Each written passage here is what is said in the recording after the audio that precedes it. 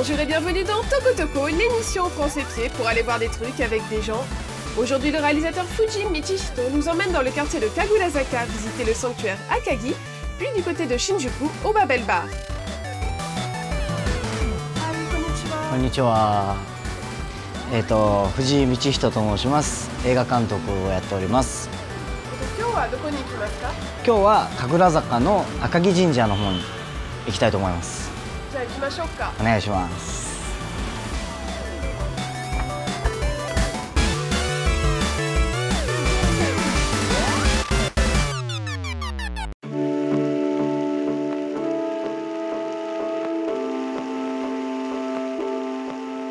ここが神楽坂の赤城神社ですね。えっと神楽坂の駅の中でも一番高いところにある感じの神社で、僕はここに6年住んでますね。で、東京の中で一番好きな街が神楽坂。なぜかっていうと、その京都みたいなその趣というかそういうのもありながらすごく静かだし、うん、いろんな作家さんいろんな昔の日本の作家たちがこの町で本を書いてたり旅館でみんなでこぞってみんなで脚本を書いたりとか、うん、この町にいるとすごくいいものが作れるっていうのが僕の中であって。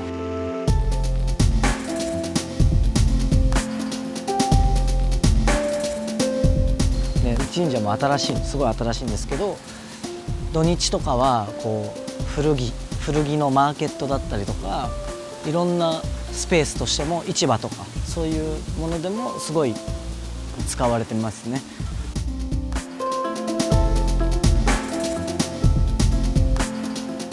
本殿に着きましたね。本殿も多分3年前ぐらいに建て替えて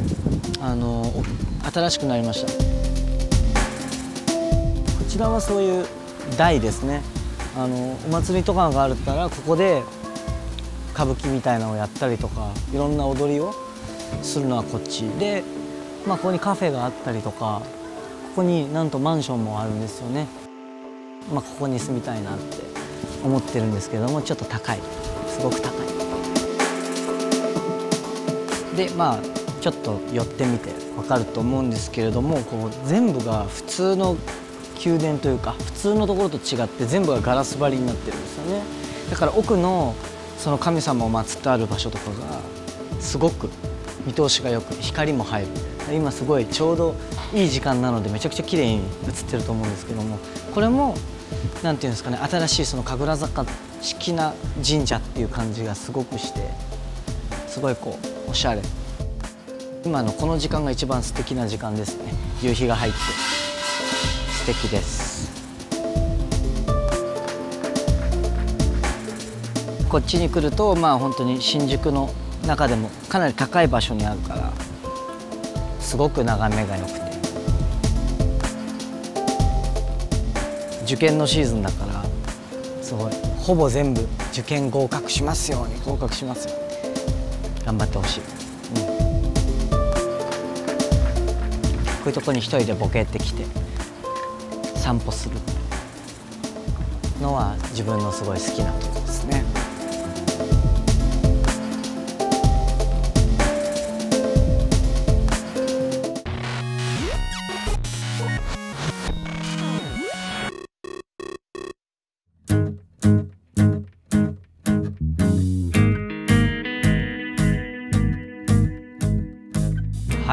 ということで到着しましたバベルバーなんですけれども新宿駅からも近いですし新宿御苑からも近いです。で新宿御苑の公園はすぐそこにあってここが僕らのたまり場なんです隠れ家なんですけれども入ってみましょう。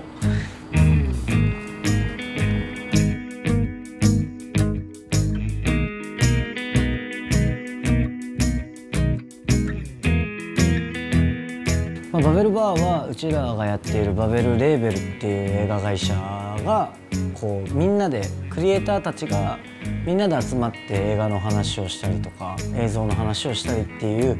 それこそフランスで言ったら昔言うサロンみたいなそういう目的があって作りました。でここでみんな夜な夜な映画を持ち寄ってみんなで上映会をしたりとかみんなで映画を見ながらこうああだこうだったりしたりいい映像ってなんだろうってみんなで考えるような場所です。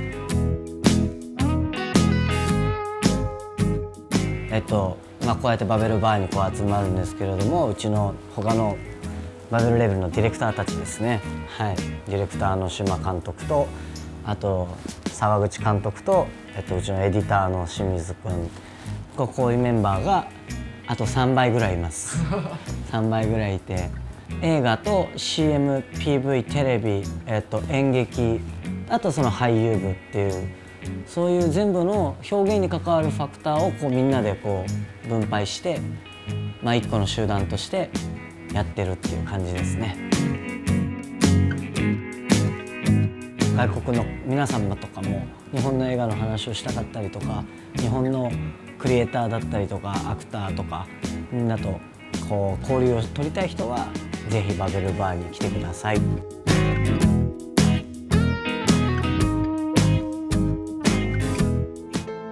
そううざいことに俺には親父が4人もいる。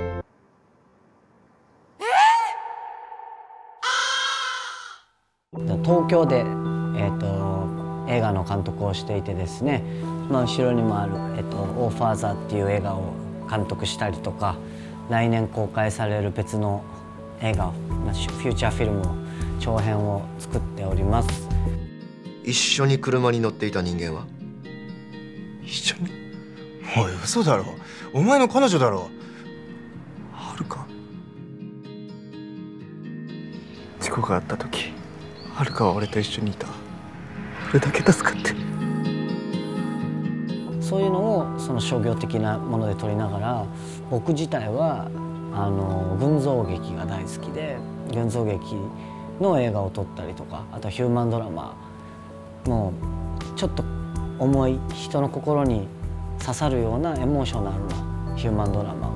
大好きです。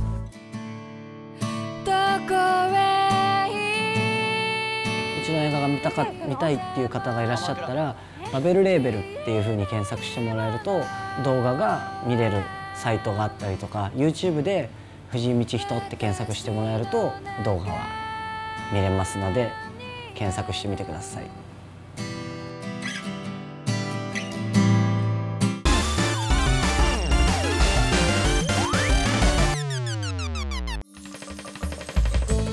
フランス人の皆様に教えたい言葉は「素敵でございます。で、えーとまあ、結構日本の言葉でもなんかめっちゃいいとかすげえとかそういう言葉っていっぱいあるんですけど例えばアメなんていう英語でも、まあ、 cool だったり awesome だったりなんか beautiful いっぱいなんかいっぱいあるんですけども一番なんていうんだろうなこう一点に当てれるというかこうちょっと一番いい時に言う言葉は素敵って素敵だねって言うとどちらにも取れるとか誰も嫌な気持ちにならないとかすごいね素晴らしいって言うとちょっと嘘くさかったりするのもあ素敵だねって言うとあのなんていうかそういう嫌味にもならないというかみんなが喜んでくれる言葉なので皆様日本に来た時は何でもかんでも素敵って言えば大丈夫だと思います。